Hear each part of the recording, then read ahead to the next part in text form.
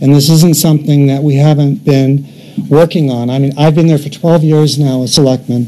This has been my number one thing.